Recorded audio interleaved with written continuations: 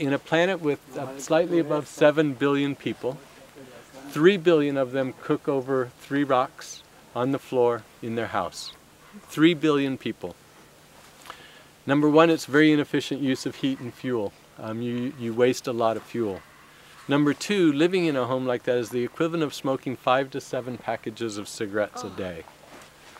Today, World Health Organization, everyone goes, who? World Health Organization, WHO, um, estimates that there are 4 million deaths a year, primarily in women and children, directly attributed to the indoor cooking smoke. Today, if you talk to a doc doctor in Liberia treating Ebola, he will tell you that their challenge is, is that people are so weak that they get Ebola because of the smoke that they're breathing all the time, and that once they have Ebola, they have no reserves and they can't fight it. And that's one of the reasons mortality is so high. It's one of the reasons we can bring people home or have American or European doctors survive is we aren't going into it with a compromised system. So it's a, it is the number one environmental killer of people in the world. It's in the top 10 leading causes of deforestation, making it one of the top 10 causes of species extinction. And with a very simple we have a stove that has to meet, we have several stoves, but they, the only thing they have to we don't care who makes them. That's not our issue. We don't own a stove. We're not promoting our stove, but it has to do five things. It has to reduce their fuel use by at least 50%. It has to take smoke out of the house. It has to be permanent, so it can't be sold or traded, and it can be tracked and monitored. And in fact, some of our stoves get a little electronic device embedded in them called a SUM, that is a stove utilization monitor. We can go by at the end of the year and download the heat data off of it to know how much it's being used. It has to be vented to the outside, it has to be permanent. It has to be cool on the sides so that kids don't get burned. The one thing that WHO's not counting is the millions and millions of horrific burns to children in these homes with these open fires. It is horrific, absolutely horrific what's happening.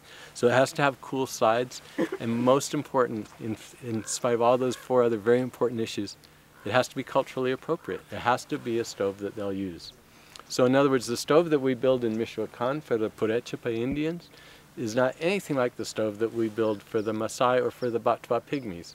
The Purechepa wanted to make a tortilla. They don't make a little tortilla, they don't make the medium tortillas, they make these big old tortillas. so mama's got a comal and she needs a big comal and she needs the big tortilla on there. So we usually build our stove around her comal.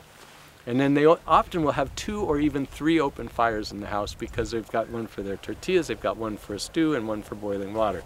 So the stove there has the big comal burner and then the smoke is taken from the small fireplace and the back two burners are heated by nothing but smoke. And you will burn, you will boil, you can't burn water, I've learned that. Um, you will boil water nearly as fast with smoke as you can with flame.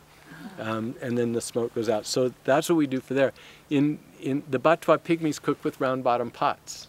So they don't want a flat surface because their pot will roll over. So we have to have a hole that their pot will sit into. And they don't like having more than one thing going, so they generally only want one burner. We've had a couple families say, no, I could use another burner.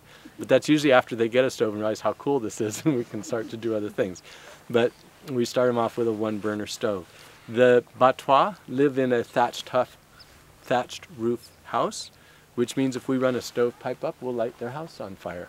So their stoves are a little more expensive because we have to do a brick chimney all the way up and out through their roof. In, with the Purechepa Indians, they have tin roofs, so it doesn't matter. We put an aluminum stovepipe up, metal stovepipe up, and it works just fine. But they have to be adapted for their fuel. Some people cook with charcoal, some people with wood. We're not at this point trying to change their fuel use because there's cultural things that are very hard to change. So, so we try to do as many things the way they want it, as long as it meets those five criteria. We track our stoves for eight years, and I can tell you with great confidence that we have a 94% adoption rate, which is a pretty amazing adoption rate for any new technology in a community.